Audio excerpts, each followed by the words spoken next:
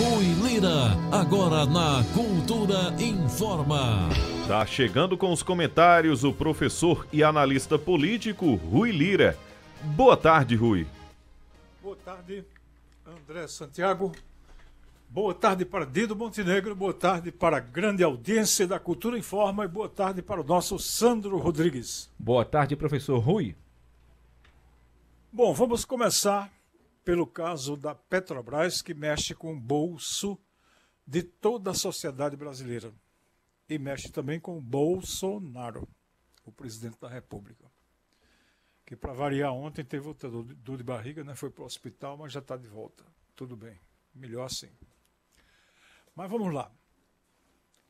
Eu já disse a vocês aqui, já coloquei para os nossos ouvintes, que quando você ouvir falar em qualquer medida que foi tomada, você pergunta qual é o interesse. Quem é que quer que aquilo funcione, que aquilo exista? Porque é o interesse que está mobilizando toda a vida humana, é, é mobilizada por interesses. A questão que fica para a ética, para a política e para qualquer atividade social é saber se o interesse é legítimo e se esse interesse não prejudica interesses de outras pessoas, ou de muitas, muitos milhões de pessoas. Então vejam quais são os interesses que estão envolvidos nessa questão da Petrobras. Basicamente há dois grupos interessados. Eu nem vou falar no pré-sal porque os estrangeiros que estavam interessados nisso já passaram a mão na maior parte dos campos, já compraram muita coisa e eles, no momento, parece que não estão nem querendo é, comprar mais esses poços de petróleo que a Petrobras tem para serem explorados. Mas vamos falar de dois grupos de interesses que estão determinando as coisas atualmente na Petrobras. O primeiro é o grupo de mais de quase 400 empresas que foram constituídas desde o governo Temer para cá, para importar o combustível que é refinado nos Estados Unidos. Então o Brasil passou a comprar uma fortuna de, de, de diesel e gasolina, passou a comprar aos americanos, e aí nós temos a combinação de interesse. Né? Os americanos querem vender e os brasileiros querem revender. Compram a eles e revendem aqui dentro, inclusive a própria Petrobras. Como esse pessoal é todo ligado um no outro, como a gente viu na história da Lava Jato, né? Sérgio Moro era ligado aos interesses dos Estados Unidos, para isso ajudou a destruir a Petrobras, a destruir a Odebrecht e as outras empreiteiras, e a destruir a indústria naval, acabou com os empregos, porque isso interessava aos americanos e interessava aos brasileiros que são entreguistas, como esses importadores. Por que, que eles são entreguistas? porque esses importadores pressionam a Petrobras para ela não refinar o petróleo no Brasil. Então eles dizem que refinar o petróleo no Brasil não é um problema tão importante, porque a gente pode até correr o risco de desabastecimento. Mentira. Mentira. Porque isso não tem nada a ver uma coisa com a outra. Você refinaria até onde as refinarias nossas descem e o preço do petróleo cairia. Por quê? Porque você refina em reais. Qual é a política que eles defendem? Essa política de atrelar o preço do, do combustível na bomba, atrelar isso, o preço final, atrelar ao preço do dólar e ao preço, sobretudo, do barril do petróleo. E toda vez que sobe lá fora, eles empurram o preço aqui dentro, quando a maior parte do combustível que eles estão refinando, entregando aqui no Brasil, e o petróleo que eles estão mandando, é noutra tabela de preço, é em real. O petróleo extraído é extraído em real. Então você tem gente que diz que são 3 dólares ou 3, 3 reais o barril, você vende por esse preço e você compra pelo preço internacional. Então a Petrobras acaba fazendo um lucro gigantesco porque ela está realmente fazendo isso. Aí vem o segundo grupo de interesses. Os importadores já ganharam deles, porque estão vendendo também por essa política, então estão enchendo a tampa, estão ganhando uma fortuna. Os importadores, notem bem, aqueles que são brasileiros e que estão jogando o jogo com os americanos para que o povo brasileiro pague uma conta mais salgada, uma conta alta em cima dessa política. Aí vem o segundo grupo de interesses. Com esse lucro alto, os acionistas pressionam, porque ganham com esses altos lucros e querem que o dinheiro seja distribuído com eles. Porque o dinheiro do lucro ele pode ser distribuído conforme uma decisão da empresa. Por isso que eu digo, quando você vê alguém decidir alguma coisa, Petrobras vai distribuir os dividendos aos acionistas porque é uma empresa lucrativa. Aí você pergunta, isso só pode ser desse jeito? Só pode beneficiar esse tipo de gente? Quais são os benefícios que esse pessoal tem? Quais são os privilégios? Aí quando você olha esse acionista, aí você vai descobrir uma coisa. Não é obrigatório pegar todo o lucro e distribuir com o acionista. Qualquer empresa que quer continuar avançando, ela pega uma parte do lucro e emprega dentro da própria empresa. Porque sempre tem o que aumentar. Não é só salário, não é só custos, mas também investimentos. Mais captação de petróleo, mais plataformas, mais navios, ou o que seja que a empresa tem interesse.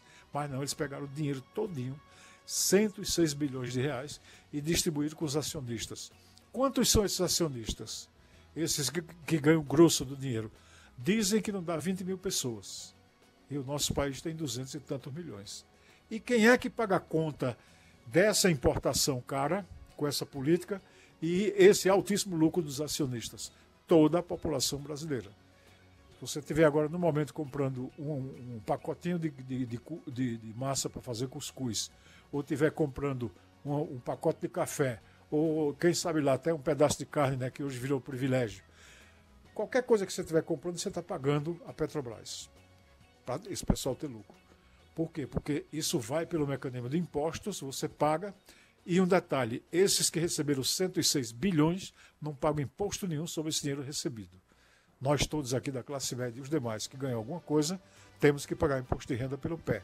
Eles não, não pagam nada recebendo bilhões de reais, como receberam 106 bilhões de reais. Eu repito, bi, baby, bilhões de reais que podiam muito bem estar dentro da Petrobras para baratear o próprio preço do petróleo, investindo, por exemplo, em refinaria. Aí, qual é o segredo da história quando eu digo que afeta também o Bolsonaro, além do bolso do povo? É que Bolsonaro não tem força para encarar esse pessoal. Aí, quem mais trabalhou para derrubar o presidente anterior, esse general Luna e é, alguma coisa, Luna e Silva, que daqui a pouco ninguém nem lembra dele. Esse cara que foi colocado por Bolsonaro foi colocado para manter a política de preço, e Bolsonaro sabia. Aí agora, para fazer graça, Bolsonaro está dizendo que está tirando o cara porque ele está mantendo a política de preço. Aí bota outro cara, o que, que esse cara vai fazer? Manter a política de preço. Porque ele é um velho consultor que trabalha contra o Brasil, é um entreguista que quer vender a Petrobras e dizem que Bolsonaro, eu digo dizem porque a imprensa não, não bate preto no branco, que Bolsonaro disse que se, se for reeleito vai privatizar a Petrobras. E se privatizar, vocês já sabem, é para atender esses mesmos interesses privados, de importadores e acionistas. Então aí é que o preço vai ficar sem freio. Porque quem é que bota freio em qualquer preço aqui de, de setor privado? Quem é que bota freio em preço de supermercado, de loja de varejo, da Amazon, de qualquer entregador de pizza, de quem, quem, é que bota preço? Aliás, quem é que bota freio nisso? Ninguém. É dizer que está inflacionando e cada um bota o preço que quer. Aí você vai numa farmácia, o remédio custa 14 reais, vai noutra farmácia custa 20 e vai noutra o mesmo remédio custa 30 com a mesma validade, com a mesma coisa. Por quê? Porque virou casa de manjona. E Bolsonaro não tem força para nada dentro desse jogo, porque quem colocou esse novo presidente agora foi o Centrão. O Centrão quer os cargos, quer o governo. Certamente não vão tentar privatizar a Petrobras agora porque é ano eleitoral. E Lula hoje já declarou que a, Petrobras é uma briga nacional que deve ser travada por todo mundo, ou seja, já está chamando o povo para a rua para a defesa da Petrobras, e é capaz do povo ir, porque o povo acha que 63% da responsabilidade é pelo alto preço do combustível é de Bolsonaro. Então, gente, olho nos interesses. Vejam que esse ministro que está caindo agora ele está defendendo dois interesses. Estava defendendo o interesse de alas evangélicas que queriam dinheiro, tanto para botar no bolso como para botar também na política. Ele estava fazendo esse jogo. Segundo a gravação, ele estava fazendo a pedido de Bolsonaro. Então, para livrar a cara de Bolsonaro a quem ele tem que ser fiel, ele pediu demissão. Mas o escândalo de corrupção que foi montado lá, esse Amém Salão, que estão chamando, né? porque é de Amém, né? de, de coisa de religião, com Bíblias, com impressão do, do, nome do cara. Esse escândalo todinho de corrupção, que é parecidíssimo com aquele que tinha no, no Ministério de Pazuello e que foi detectado pela CPI da Covid, e dentro com aquele de Salles lá com a madeira da, da Amazônia, nenhum desses troços vão ser investigados. Porque Bolsonaro mantém a mão de ferro na Polícia Federal e mantém a mão de ferro na Procuradoria-Geral da República, que é quem pode fazer a investigação. E o Centrão mantém a mão de ferro lá no Congresso Nacional. Então está tudo armado para todo tipo de ladrão, todo tipo de entreguista, todo tipo de picareta, todo tipo de caba safado, que, que vive de expediente, que não trabalha, que é malandro, que é picareta, que nunca fez empresa, nunca lutou, ganhar dinheiro às custas da população brasileira. Portanto, gente, olho no interesse. Qualquer medida que você souber de política, pergunte: quem é que tem interesse nisso? O que é que o cara quer ganhar com isso? Por exemplo, Bolsonaro vai mexer agora na Petrobras e vai mexer no preço, talvez, usando subsídio, que é um assunto que a gente vai tratar depois. Ou seja, vai tirar dinheiro do governo para dar um subsídio, diminuir o preço, sem mexer no que os caras estão vendendo, entenderam? A brecha que ficar entre uma coisa e outra, ele, ele empurra dinheiro do governo, que é dinheiro do povo. Com isso, ele contrata uma encrenca para o próximo presidente, até para ele próprio. Porque isso que sai agora vai ter que ser pago mais adiante. Não tem milagre, Dinheiro você tem ou não tem. Se você gasta, fica faltando. Aí ele vai fazer essa jogada para fazer de conta que está interessado no preço. Mas a política será mantida porque ele não tem força para contrariar os interesses desse pessoal. Agora, para contrariar o, o, interesse do povo brasileiro, ele topa contrariar numa boa, como está existindo. Portanto, olho, pergunte, pense, analise quem é que tem interesse. E faça então a reflexão típica do ouvinte da cultura informa. Opinião é na cultura. Primeiro lugar em audiência, do jeito que você gosta. Você está ouvindo a Cultura Informa, o jornal do nosso rádio. Agora uma hora mais 53 minutos. Uma e 53 em Caruaru. O ouvinte pode perguntar ao professor Rui Lira. Faça sua pergunta pelo WhatsApp, pelo Facebook tem ainda o nosso canal no YouTube. Isso mesmo, nosso ouvinte pode mandar aqui a sua participação. O Edilson Carlos Florencio está acompanhando a gente, deixando aqui boa tarde, que Deus nos abençoe. Muito obrigado, que Deus te abençoe também. Aqui a gente tem a Mônica Costa acompanhando a gente, concordo com você. Pior que aqui aí tá fazendo aqui uma, uma, ponderação em relação aos comentários, não é? Mônica acompanhando a gente aqui, concordando com os comentários, discordando de outro também aqui. Isso é democracia, é por Isso. demais interessante. Então é importante. É a discordância? Ah, não, aqui o pessoal aqui com, assim, discordando com alguns comentários aqui, deixa eu ver aqui. É aqui é dizendo que a rádio não lê os comentários que são contra aqui o, o, Lula, no caso. A gente lê todos os comentários, mas o que a gente leva em consideração, Rui, aqui, André e quem nos escuta agora, é que a gente não aqui repercute linguagem ofensiva. Isso. Então, hum. se você discorda, mas com respeito, a sua mensagem vai ser ah, lida. Claro. Agora, se você usa, é, seja metendo a, o cacete em Bolsonaro, em Lula ou em qualquer candidato ou pré-candidato com desrespeito, a rádio não vai ler. Exato. Obviamente. Vale a crítica, a crítica construtiva, a crítica consciente. Agora, como o Dido falou, com desrespeito, mesmo a política, a gente sabe que a gente tem que criticar político mesmo, seja Bolsonaro, seja Lula, é, seja Haddad, enfim, mas tem que ter o respeito porque aqui é um veículo de comunicação, Exatamente. certo? E não vale desrespeito também aos nossos comentaristas. Aí seja professor Carlos Silva, seja Davi Cardoso, aos ouvintes, né, André? Seja Rui, enfim, é. exatamente, principalmente aos ouvintes, né, Dido? Então, seja, se quer se degladiar, fique à vontade, use seu Facebook, use seu Instagram, seu, seu WhatsApp, enfim, dê essa porrada no meio da rua se você quiser se, se degladiar, feito animais, né? Infelizmente, tem pessoa que ainda age como animal, fique à vontade. Mas o veículo de comunicação, seja Rádio Cultura e suas co-irmãs emissoras de rádio, obviamente defendem um debate, um, sadio, sadio, respeitoso. Isso. É por aí. Aqui no WhatsApp, o Ronald, professor Rui Lira quer acrescentar? Pois não, professor, fica à vontade. É, lembrar rapidamente, André e Dido, essa atitude do Will Smith no, no Oscar, né? Ele, sim, vencedor sim. do Oscar, coberto de razão, porque o cara é, fez uma piada ofensiva e desagradável com a esposa dele, mas ele não usou a contra-argumentação, ele usou a violência física.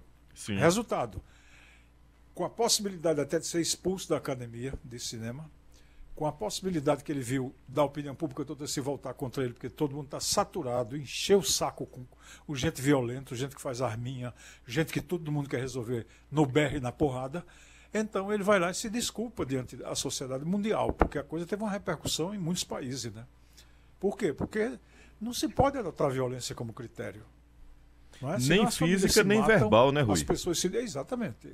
tem um argumento, levanta um argumento, Isso. ataque o, o comediante, faça um protesto, alguma coisa, né? Mas não vá dar uma tapa na cara do camarada do- na frente de todo mundo, como ele fez. Ele não tem esse direito, ninguém tem esse direito. E ainda, Rui, sobre essa questão dessa, digamos, esse clima acirrado, e eu não atribuo isso mais às eleições. Eu atribuo isso é a, a falta de civilidade entre as pessoas. Isso. Sabe? Isso. Não é Bolsonaro que estimula alguém a ser violento, nem Lula e, e- e os demais candidatos. São as pessoas que estão deixando de ser civilizadas. A gente tá, tá voltando à época do Homem das Cavernas, parece. Então tá bom É, da gente agora, reconstruir o maneira, caminho. Agora, de certa maneira, o Brasil sempre foi muito grosseiro, muito violento. Eu próprio sou uma vítima disso, uma vítima física. É verdade. não é? Eu não só apanhei, como levei um tiro na minha perna sem nenhum direito de defesa, num ato de alta violência, lá quando eu era jovem, né? E não é porque eu era jovem, não. Eu, eu acho que ainda tem gente querendo atirar na minha perna hoje. Tomara que seja só na perna. Ente- Entendeu? Mas isso é uma coisa que está arraigado e a gente tem que sair disso. Porque o, o- o Brasil também é o país que mais fala em amor. Então você liga televisão, você ouve música, tudo só fala em amor. É meu amor, minha felicidade, etc. Tal. E parece que é feito falta de luz, né? Você fala muito numa coisa porque está faltando. É, né? Rui. Quando E, falta luz, todo mundo. Eita, que escuro, né? Todo mundo É. fala, fala E aí. é- "Ah, que, bom a luz, etc. Tal, porque está faltando. importante Então, a gente está faltando repensar amor, isso. então se fala muito nele. É importante repensar isso e eu repito, não atribuo isso mais a um clima de, de ideologia política, é realmente a falta de civilidade quando a gente prega ódio em rede social, é até mesmo no dia a dia, enfim, eu acho que a gente tem que re- re- redesenhar esse caminho, refazer esse caminho e não adianta estar com a Bíblia Sagrada embaixo do sovaco o dia todo e, fa- e fazer o mal, não adianta estar com a imagem de Nossa Senhora na mão o dia todo ou com o terço e fazer o mal, então a gente tem que repensar essas coisas. Claro, claro. Pelo amor de Tem mais Deus, coisa aí do ouvinte? Tem sim. Ronaldo Carlos está dizendo: a gasolina não tá barata em canto nenhum no mundo. O controle é da OPEP. O lugar barato é no momento na Venezuela. Em compensação, a qualidade faz com que os carros não saiam do lugar. De pior qualidade. É bom quem não estiver gostando do presidente já começar a fazer as malas. Olha, essa ilação que o ouvinte está fazendo, que quem não gostar do presidente é bom fazer as malas, isso cabe ao presidente também. Ele pode fazer as malas e carregar com ele os malas que ele colocou dentro do governo. Tipo esse ministro corrupto, esse pastor sem vergonha. Tipo aquele Salles ladrão que comprou uma casa por 15 milhões lá em São Paulo. E outras figuras que ele bota, está pendurado em todos eles, inclusive os do Centrão, para os quais o general Heleno, com aquela cara lisa, hoje dizia há tempo atrás: se gritar pega centrão, não fica um, meu irmão. Fazendo um trocadilho com aquela música: se, se gritar pega ladrão, não fica um, meu irmão. O general Heleno estava dizendo isso lá atrás. Agora ele está calado lá, comendo o dinheirinho dele como ministro, um ministro inútil, incapaz de impedir que se botasse cocaína no avião presidencial e transportasse para a Europa. Ele, Heleno, que é responsável pela segurança do presidente da República e deixou o Bolsonaro numa saia justa. Porque deve ser um dos poucos países do mundo que cocaína anda em avião presidencial. Mas voltemos agora, depois dessa questão. É bom pegar, a fazer as malas e carregar os malas que estão dentro da presidência, estão na Petrobras, estão em tudo quanto é buraco. Hoje, 53% da população brasileira acha que a corrupção vai continuar. Embora Bolsonaro diga que não tem corrupção no governo dele. Não tem porque não investiga. Agora, a outra parte da colocação que o ouvinte está fazendo, eu não tenho dados para dizer que os carros da Venezuela não andam. Nunca ouvi falar nisso. Nunca ouvi falar nisso. E dizer que o preço está caro em todos os lugares do mundo é uma coisa que o ouvinte não está demonstrando. Por quê? Porque ele não comparou o preço do Brasil com os demais. Só comparou com o da Venezuela para fazer um ataque à Venezuela, porque um eleitor de Bolsonaro, como o ouvinte se coloca claramente como eleitor de Bolsonaro, ele não procura ver dois, três pontos de vista diferentes. Ele só procura ver o ponto de vista que interessa para fazer a publicidade e o ataque ao outro lado, como ele chama. Até parece que o outro lado não são brasileiros, não são pessoas que pagam imposto, não são filhos, não são filhas, não são crianças, não são mulheres, trabalhadores, pessoas decentes, como são todos os brasileiros. Até o ouvinte eu acho que também é, naquilo que ele faz com sua família, uma pessoa decente. Então, meu amigo, tome tento. Analise direitinho. O problema da gente não é ter Bolsonaro ou Temer. Temer, é, tudo indica, pelo que se viu até hoje, Temer é a mesma coisa de Aécio são desses ladrões descarados que continuam dentro da política brasileira, enfiados lá dentro, feito esse Arthur Lira, esse pessoal todo, que todo mundo sabe da vida deles. E a gente não vai dar trela a esse povo. Então pense nisso. Porque esses caras estão roubando você. Você está pagando o preço da, da, Petrobras, o preço da gasolina aqui. Não é porque está cara no resto do mundo, não. É porque desde Temer indexaram o preço da gasolina ao barril do petróleo. E o barril só subiu violentamente do ano passado para cá e muito mais agora depois da guerra. E eles nunca fizeram esse cálculo, porque na hora que a guerra subiu o barril, quem está pagando a conta é você, não são eles. Eles estão enchendo a tampa, estão enchendo o bolso de comissão, de ladroeira e estão enchendo o bolso também de picaretagem com os lucros da Petrobras. É isso que a gente demonstrou aqui. Então, tome tempo, meu amigo. Olhe bem, pense bem, analise bem. Isso de Jair Bolsonaro ser eleito ou não, tanto faz. O problema é se essa corrupção, essa bandalheira e essa escravização do povo brasileiro vai continuar ou não. Aqui, a gente traz aqui a mensagem do, do ainda nessa questão de combustíveis. Aqui o Jailton Arruda coloca assim: é, Rui, o combustível brasileiro tem que ser refinado fora do país, tornando-se mais caro. Isso graças ao Lula, que prometeu fazer três refinarias e não fez. Olha, tu tá para lá de enganado. Vai analisar quem foi que prendeu as, a refinaria brasileira, quem foi que deixou de investir aqui em Abreu Lima. Vai analisar. Não foi Lula, não, nem Dilma. Os investimentos estavam em andamento. Desde Temer foi tudo travado. E veja quem decidiu agora que o, o Brasil não ia refinar petróleo. Vá atrás da informação.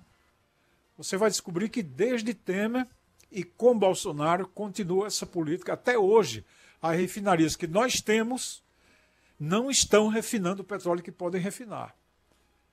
Aí você pensa que isso é inocência ou que tem que ser refinado lá fora? Isso não é verdade. Está refinando aqui dentro, aí o que, é que eles fizeram? Porque é um conluio de interesse. É gente que está dirigindo a Petrobras e está ganhando toco para fazer isso. São corretores e atravessadores que estão fazendo a intermediação. E esse pessoal se entende para todo mundo ganhar. Aí o que, é que acontece? Eles prendem a refinaria. A refinaria brasileira estão travadas, elas podiam estar refinando, não estão refinando. A gente está comprando é, gasolina refinada no Brasil também. Não é só do exterior, isso é uma mentira que eles levantaram. E outra coisa, mentira maior ainda, que Lula sai, olha, Lula sai com oito anos de governo lá para trás, depois vem Dilma e continua, e quem para a refinaria são os governos de Temer e de Bolsonaro. E o preço do petróleo alcançou no Brasil, o preço da gasolina e do combustível, as maiores taxas históricas com Bolsonaro. Com Bolsonaro. Então não se venha com conversa para tirar dele a responsabilidade que é dele. Quem está lá em cima, quem sai da chuva é para se molhar. E ele tem essa responsabilidade. Por isso mesmo que ele está tentando remendar agora. Ele vai entrar com subsídio para sustentar o preço. Mas ele não vai mudar a política de preço nem vai mandar a Petrobras refinar mais. Porque isso contraria os apoiadores dele que botam dinheiro na campanha dele, que são os importadores e os acionistas. Ele não vai fazer isso. Nem tem força para fazer isso. Nem disposição. Ele vai inventar é que a Petrobras não presta ele quer vender a Petrobras, quer entregá-la. Então essas são as realidades, infelizmente, amigo. Mas vai lá na, no noticiário e analise que você vai encontrar essa mesma verdade que eu estou lhe colocando, com todo respeito trazer aqui a mensagem aqui Garcia Duarte. Porque em 16 anos de governo, que no caso não foram 16, mas foram no caso 14, não é isso? Porque dois, os últimos dois anos foram com Michel Temer, no caso. Mas por que nesse tempo de Lula e Dilma o PT não conseguiu resolver a problemática da Petrobras? Que problemática? O PT fez um investimento maior da história do Brasil, foi a descoberta do pré-sal. Hoje o Brasil tem uma reserva que é ambicionada no mundo inteiro. O, o governo Lula e o governo Dilma expandiram a capacidade de refino. Você veja que a refinaria de gasolina de avião que existia, me parece, aqui no Maranhão, foi criada pelo PT. É só você olhar. Eu, eu não sei o que está acontecendo com alguns ouvintes meus. Qual é a pesquisa que explica isso que você está dizendo? A Petrobras investiu no refino. A Petrobras criou uma distribuidora nacional gigantesca que foi vendida a preço de banana, a BR Distribuidora. Tão boa que hoje os caras que compraram de empresa privada estão mantendo o nome da Petrobras, embora a, a, a rede não seja mais da Petrobras. O PT expandiu a rede de gasodutos de um modo que o gasoduto que vem da Venezuela saiu de São Paulo e do Centro-Sul e veio até o Nordeste com uma rede gigantesca que eles também venderam a preço de banana. Isso foi o PT que fez. Então, meu amigo, vá atrás da notícia, vá atrás da informação, está lá na internet, é de onde eu tiro também. Aí, se você puder desmentir qualquer coisa dessa que eu estou colocando aqui, aí você pode dizer que o PT não fez, não resolveu. Agora, pergunto também se do jeito que está, do jeito que está agora, sem investir em refino, sem aumentar nem sequer a capacidade instalada do refino, vendendo refinaria, botando o preço indexado ao barril do petróleo e ao dólar, aí você pergunte, vai funcionar, vai dar certo? Quem é que vai se lascar no final das contas? É quem já está se lascando com a inflação alta induzida pelo preço do petróleo e o Brasil que vai terminar tirando dinheiro do tesouro agora para subsidiar o preço do petróleo. E Bolsonaro, o que foi que ele investiu? Qual é o investimento que a Petrobras teve? Qual é o crescimento que a Petrobras teve com ele? O que cresceu? O lucro estapafúrdio que eles distribuíram e entregaram inteiramente aos acionistas. Então eu chamo a atenção. Presta atenção, meu amigo. Olhe direitinho o que você está dizendo e olhe o que você está vendo. É fácil, entre na internet e procure que você acha tudo. Nem vá no site do PT, nem vá no site da esquerda.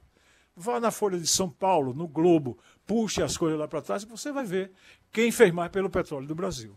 Indiscutivelmente, são as administrações anteriores a Michel Temer. Por isso mesmo que eles estão atrás nas pesquisas. Não pense que o povo é tão besta, tão idiota, como alguns pensam ou querem pensar, que não esteja enxergando o que está acontecendo. Por isso que Bolsonaro está derrotado em todos os cenários de segundo turno, só ganha para Dória. Que, aliás, nem, ganhar para Dória é ganhar para o pato morto. Não é? Então, essa percepção que o povo está tendo é a percepção do que o povo está sentindo. E o povo está sentindo no governo Bolsonaro. E esse problema é dele, não é, não é meu nem seu. Ele é que tem que resolver como líder. Porque, no momento, ele é o derrotado, ele é o, é o, o candidato mais candidato a derrotado que nós temos para a presidência da República. Pelo menos é o que aponta tudo quanto é pesquisa. E qual é a solução dele e de algumas pessoas? Dizer que as pesquisas não funcionam. Vá lá atrás que você vai ver. Entre o primeiro e o segundo turno, todas as pesquisas davam vitória de Bolsonaro. E ele venceu. Então a pesquisa era boa lá, agora ela não serve mais. Que é um modelo infantil, meio, meio, meio primitivo de algumas pessoas analisarem política. É aquele menino que come chocolate melo beijo e chega para a mãe e diz, não fui eu não que comi chocolate, com a cara toda melada de chocolate. Então a pesquisa era boa lá e não é boa agora. Era boa lá, era errada lá quando o Bolsonaro ganhava. Ah, não, ele ganhou, então estava certo. Não, não pode estar tá certo porque agora tem que estar tá errado, porque ele está perdendo. Gente, ninguém pode pensar desse jeito, não. Não vai pegar um termômetro na sua casa, tirar a temperatura do seu filho e quando dá 40, você não leva ele para o hospital. Leve ligeiro, porque ele vai ter convulsão. E é um instrumento de medição que está dizendo. Não é um médico nem é você. Então, respeite a pesquisa, respeite o número, respeite o resultado, que é o melhor que você faz. Eu e você e todos nós. Um grande abraço que a gente está encerrando, né? Ainda não. Aqui Opa. a mensagem do Bel Publicidade, Boa Vista 1. Querem transformar Fernando de Noronha em paraíso dos cassinos no Brasil e os principais investidores são os filhos do presidente. Claro, isso está tudo no, no, conceito. Porque mais na frente, anotem bem o que eu estou dizendo agora, mais na frente, essa coisa vai ser descoberta, viu, gente? Eles não vão conseguir botar a mão na Polícia Federal e na Procuradoria-Geral da República séculos, per sécula seculorum, amém. Não. Pelo fim dos tempos, não. Isso vem à tona. A, a corrupção de Moro, e a de Dallagnol, que ninguém acreditava, veio todo à tona agora. Todos dois milionários. Um comprando apartamento de cobertura em Curitiba, o Dallagnol, em dois prédios diferentes, por fortuna, e Moro recebendo aquele toco nos Estados Unidos de 3 milhões de, de reais, ficando rico de uma hora para outra. Ministro da Fazenda, ministro da Economia, como Paulo Guedes, com dinheiro em paraíso fiscal. Presidente do Banco Central com dinheiro em paraíso fiscal. Isso é coisa lícita, é coisa certa, é coisa decente? Não, é um bando de ladrão, um bando de corrupto e que estão indo em cima do bolso do povo e tirando a última gota de suor e de sangue que as pessoas dão no seu trabalho. Pergunte, qualquer um faça a pergunta. O que é que compra hoje o salário mínimo é, já corrigido? R$ 1.200. O que é que compra esse salário? O que é que comprava lá atrás o salário mínimo? Então é só comparar que você vai ver a realidade objetiva. Aqui um abraço para o Fábio Nunes, deixando para a gente um boa tarde. O doutor Flávio Holanda coloca aqui: a verdade só incomoda quem vive na mentira. Uma ponderação importante, na verdade. Belíssima, belíssima. Renato do Vassoural, boa tarde, professor. O senhor realmente acha que se Lula for eleito, vai melhorar? Onde toda a corrupção no governo do PT tendo Lula como líder? Olha, quem está dizendo que Lula é líder de corrupção é você. Os tribunais brasileiros, alguns de primeira instância, tribunais não, juízes de primeira instância, outros na segunda instância e na instância de cima, foram 23 processos, não sei se você sabe, mas fique sabendo agora para não repetir isso que você está repetindo, deram Lula como inocente. Inclusive a acusação que caiu foi justamente essa que você está fazendo aí, de maneira inocente ou mal intencionada. É a acusação de que ele era chefe de quadrilha. Caiu. E faz três dias caiu também a acusação das pedaladas, pedaladas fiscais de Dilma Rousseff. Então eu estou lhe dando a informação para lhe dar o benefício da dúvida. Agora, estou lhe dando a informação que você parece não ter. Mas a partir de agora você tem que calar a boca e não dizer que Lula é ladrão, porque você não pode provar, você não pode acusar, você não pode indiciar, depois que toda a justiça brasileira colocou o ex-presidente Lula como inocente. Isso vale para você e vale para mim. Se a gente tiver pendência com a justiça e considerar a gente inocente, nenhum picareta, nenhum malandro, nenhum irresponsável pode chamar a gente de ladrão. Porque a justiça disse que não. Então essa é a questão. Agora, se Lula vai melhorar ou não, esse não é o meu problema. Meu problema aqui é analisar o seguinte: o povo quer botar Lula no governo. E depois que ele entrar no governo, a gente vai analisar o que é que melhora, o que, é que não melhora, porque ele não é santo, não é milagreiro e não vem aqui para mudar as coisas. Agora, para fazer o que o país está tendo agora, crescimento baixo, inflação alta, desemprego alto, gasolina nas nuvens, esse é que o povo parece que não quer mais no governo. Então, quem é candidato a ser derrotado é Bolsonaro, quem é candidato a, vender, a vencer é Lula. E o que vai acontecer depois, isso pertence ao destino e nós estaremos, queremos estar aqui para analisar junto com você e ver os resultados. Agora, lhe peço uma coisa: se Lula melhorar, mude, deixe o seu candidato porque ele não prestava.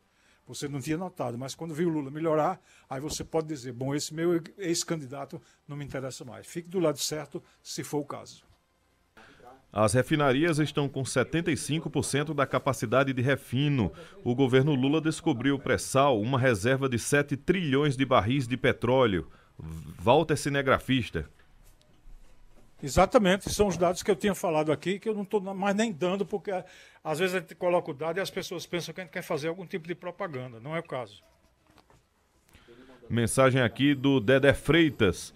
É, boa tarde, Rui Lira. Se as eleições estaduais fossem hoje, qual era a situação de Raquel Lira caso ela seja eleita? Isso só vai saber, a gente só vai saber isso na campanha. A gente não vai ter condições é, de desenvolver um raciocínio ainda quando todas as peças do jogo não estão colocadas. Isso só vai acontecer em julho, depois das convenções. Agora, eu vejo Raquel como uma candidata promissora. Acho que ela tem força para se colocar embora que agora ela tenha um outro flanco, né, porque ela era a única candidata mulher de expressão, e agora tem Marília Reis. Então é muita coisa para correr nesse jogo e a gente vai ter que esperar um pouco, infelizmente. Mas ela é uma candidata promissora, uma candidata que tem o que dizer, tem uma tradição política de família. Já estão colocando, pelo que eu vi ainda agora com Douglas Sintra, que não é automático uma, uma, um apoio dela a Bolsonaro, que para ela seria um suicídio. Se ela apoiar Bolsonaro, ela vai no buraco porque a campanha aqui será o seguinte: quem está com Lula e quem não está. A campanha vai ser essa em Pernambuco. Então ela vai ter que se posicionar. Se ela ficar ao lado de Bolsonaro, aí é outra história. Mas Marília já disse que fica com Lula, né? E o candidato do PSB, o Danilo Cabral, também vai ficar com Lula. Então, serão dois candidatos do lado lulista contra os demais. Mas, Professor. Paciência, viu? Vamos ver. Professor, sobre o vice de Lula, Alckmin. É, o, que ele, o que o senhor tem a dizer sobre Alckmin? Pergunta aqui o Rosival Silva do Salgado. A ótica e o raciocínio que o PT seguiu e Lula seguiu é que era melhor ampliar a dimensão política da chapa com um elemento, eu digo elemento no bom sentido, né? elemento como peça participante, como Alckmin, que não é um extremista de direita como Bolsonaro, que não é um oportunista picareta como Dória, que se agarrou com Bolsonaro e depois jogou fora. Então Lula entendeu que Alckmin seria uma aposta numa pessoa mais civilizada e que teria que trazer setores do PSDB que são pessoas que têm capacidade de conversar, de dialogar e de trazer para uma aliança política ampla uma ampla e larga é, é, associação política, digamos assim, uma coligação política, um entendimento político para derrotar o fascismo de extrema-direita. Esse é o raciocínio que o PT seguiu. Mas eu recomendo ao ouvinte que espere para ver como é que o povo vai julgar isso. Porque o que tem pesquisa até agora sobre esse assunto é que a população não está incomodada, a população que, que declara voto em Lula, não está incomodada com a presença de Alckmin. Quem está querendo fazer um cavalo de batalha para dizer que Lula mudou de posição, qualquer coisa, são os adversários. E os adversários têm razão. Para qualquer bolsonarista, é interessante dizer que Lula está se contradizendo. Não é? Isso é uma coisa normal no discurso político. Mas talvez Lula tenha muito mais contradições de Bolsonaro a apontar do que Bolsonaro tem contradições de Lula para colocar. E quem vai, quem vai ser o juiz disso, quem vai decidir, é o povo, não é o comentarista da arte cultura. Não é o ouvinte da Rádio Cultura. Ele vai tomar sua decisão pessoal. Mas o todo é que vai importar. E o todo está dizendo que, ainda que o vice de Lula fosse o cão, o povo queria eleger Lula porque é a cabeça de chapa. É isso que a pesquisa está dizendo. E não muda. Desde novembro, dezembro do ano passado que vem assim, não muda. Também abril, acabando março, agora entrando em abril, é, sexta-feira já é abril, e Lula continua na cabeça, ganhando de lavada no segundo turno para qualquer um. Lula ganha de todos. E Bolsonaro perde de todos, exceto de, de Dória, como eu já falei. Mensagem aqui, deixa eu ver, do ouvinte, o Alisson Gilberto. Nosso país está fadado ao fracasso e às mesmices de sempre, independente de ser Lula ou Bolsonaro. Só pensam no bem deles mesmos. É, um raciocínio, né? uma hipótese, que não se confirma com o governo que Lula fez.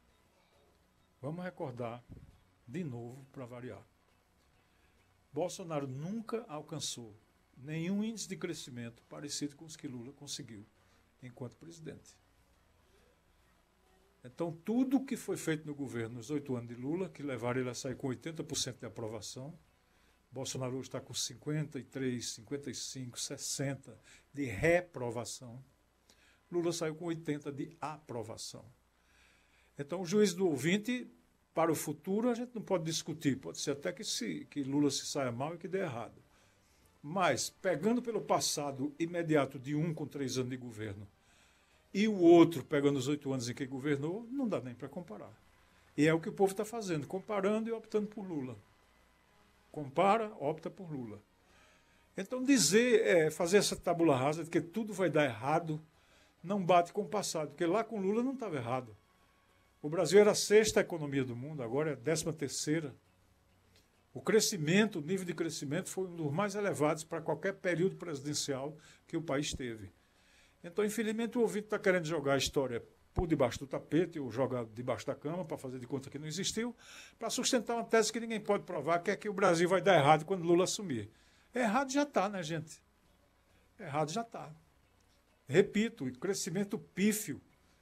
São é, três anos de Bolsonaro com aquele pedaço de Temer, dá cinco, seis anos mais ou menos. O Brasil não passa de 2%. Quem reconheceu isso agora foi o presidente do Banco Central. A coisa não funcionou, reforma trabalhista, previdência, não funcionou por quê? Porque hoje sim é que o governo está entupido de corruptos. E eu digo mais, Bolsonaro não é o chefe, não.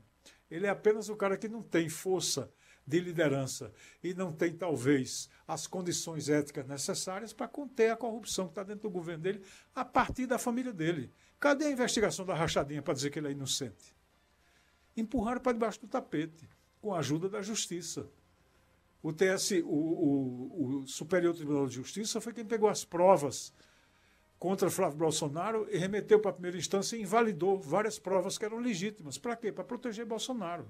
Porque na justiça também tem corrupto. Na justiça, no, no, no exército, na, na, área evangélica, no centrão, isso aí já é pleonasmo, né? no agronegócio, no empresariado, em todo canto tem corrupto no Brasil.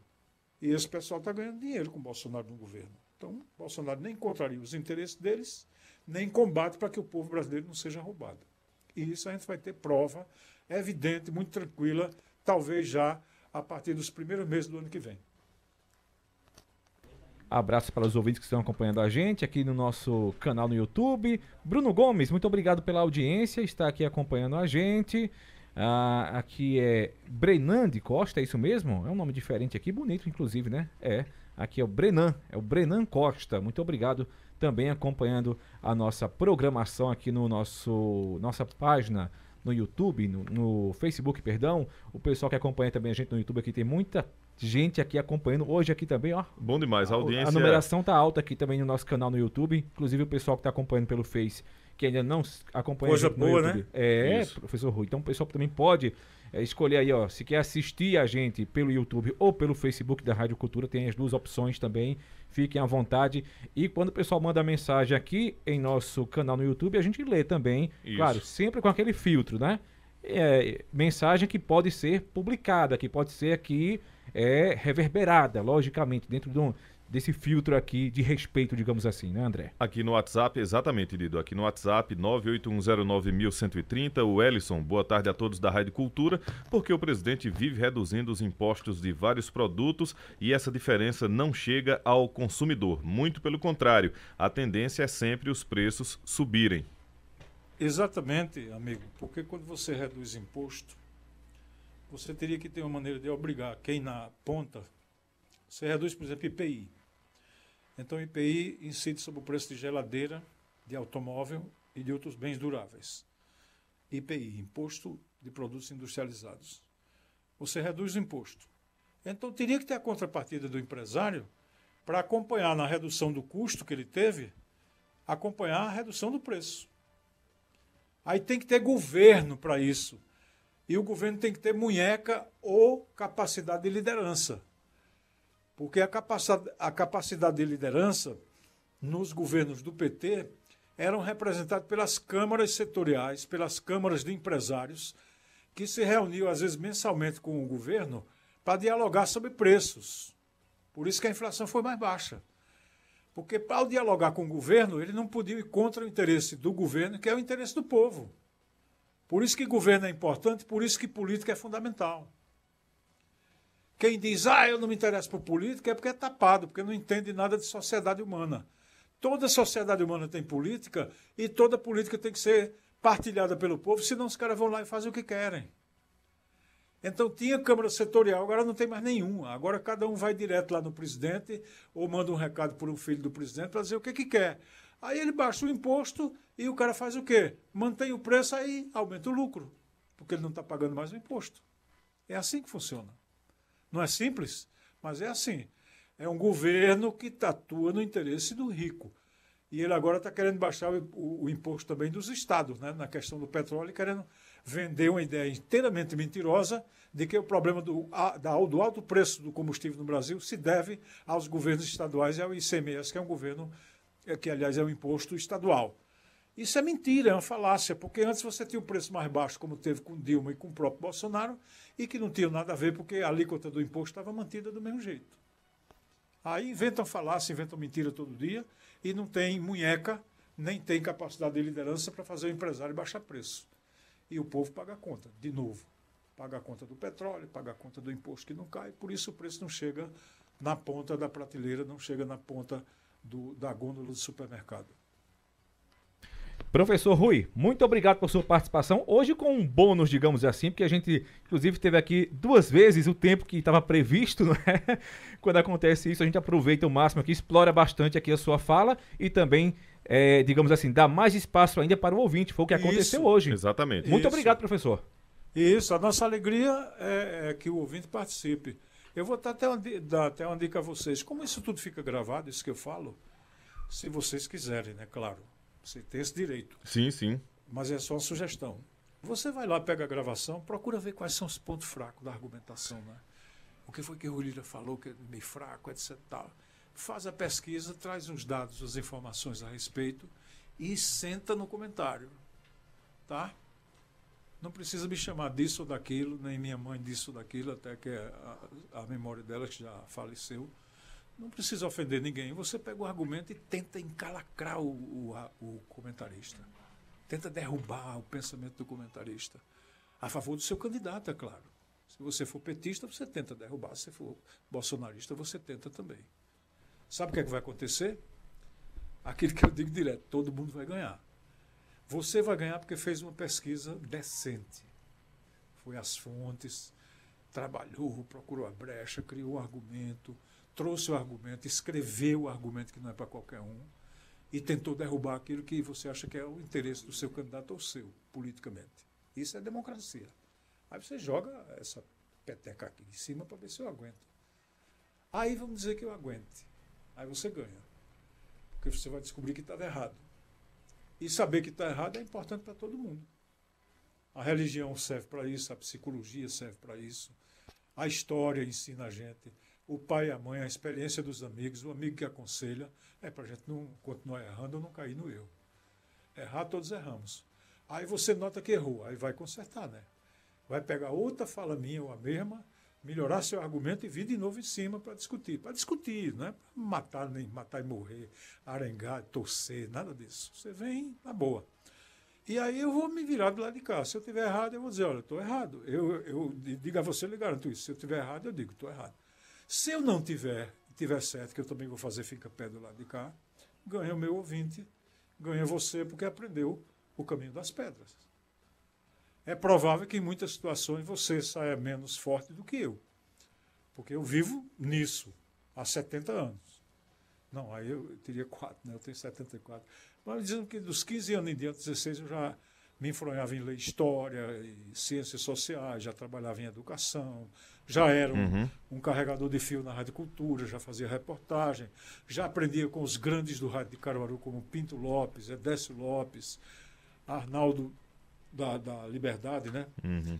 E tanta gente que nos ensinou aqui, McDowell, Zé Almeida, sobretudo, que era o, o, grande pai da gente, ensinou muita coisa, Queiroz, Antônio Torres, Marco Moura, a sabedoria pessoal de cada um. A gente aprendeu muito durante esse tempo. Então pode ser que o ouvinte, é, partindo para confrontar a gente, não leve a melhor de cara. Mas é bom tentar. Porque como a gente é humano e erra, a gente também se emociona, se entusiasma, né? se acha, às vezes. Tem hora que eu me acho, eu digo, ô Paulo, fiz um comentário muito bom. Às vezes a gente se sente assim. Aí vem você de lá e me bota um freio. Aí ganha você, ganho eu se botar o freio, ganho eu se reconhecer. Se eu tiver certo, você ganha. Se você tiver certo, você ganha. Se só tiver um pedaço certo em você, eu aproveito e você aproveita o meu pedaço certo. E a gente nota que a verdade pode ser unida mesmo em posições diferentes e por aí vai. É só uma dica, viu? Só uma dica.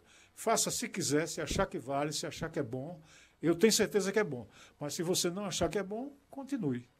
Só não fale da minha mãe nem do, da de André Santiago, que todas merecem absoluto respeito. E a educação é boa e a gente gosta. E respeito mais ainda, é bom e a gente gosta. Nem dá de dedo. E não vamos acatar Deixa a minha linguagem quieta. marginal, não vamos acatar a linguagem de mal-educado, não vamos acatar a linguagem de desaforado, nem vamos acatar a linguagem de estúpido que não tem capacidade de argumentar e quer ofender as pessoas e ganhar no grito. Esse não tem lugar na Rádio Cultura, nunca teve. Por mais de 60 anos da rádio, ela nunca deu espaço para esse tipo de gente. Nem no microfone, nem fora dele. Uns a gente cortou simplesmente o som. E outros a gente fez simplesmente outro discurso. Fosse político, tivesse dinheiro, não tivesse. A cultura sempre teve esse critério. Era, teve um tempo, André, eu não sei se você lembra, que o slogan da cultura era a emissora da família caruaruense. Família no sentido de respeitar as filhas, os filhos, os pais, as mães que criaram a grandeza, a alegria, a força e a beleza de Caruaru.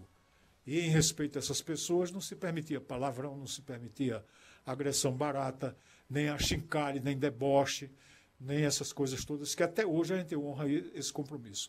Vocês nunca viram aqui um achincalhe direto ao ouvinte do ponto de vista de atingir a moral ou a ética pessoal, individual e a honra pessoal de qual, qualquer que, que, que, que seja o ouvinte. E se por acaso acontecer, processem este comentarista e processem a rádio. Está no direito de cada um. Professor Rui, boa tarde e até hoje é terça-feira, até quinta-feira. Quinta estaremos de volta com muita alegria e doido que desse tempo aí, desse mesmo que deu hoje. Boa tarde, Dido Montenegro. Muito obrigado pela sua gentileza habitual. Boa tarde, André Santiago, aí pela extensão também, que beleza. Boa tarde a Sandro Rodrigues pelo excelente som. E, sobretudo, eu me derreto todo quando digo isso, é de coração. Alegria de agradecer mais uma vez a grande audiência da Cultura Informa.